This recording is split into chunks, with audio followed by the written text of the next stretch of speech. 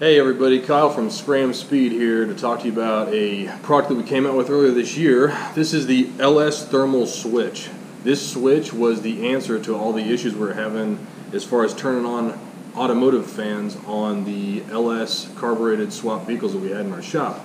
Before we just had to stick a probe into a radiator or use a bunch of ugly adapters to adapt to an LS cylinder head but not anymore. Now we have a product that bolts directly into the LS cylinder head and has really great on-off set points. Uh, it's available in three different set points, uh, 180, 190, and 200 degrees.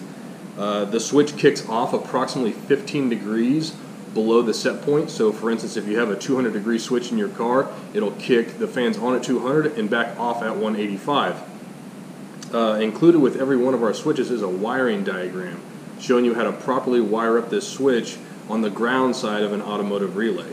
The switch is able to handle 30 amps, however we do not recommend that you just wire it from battery power to the switch and from the switch to the fan.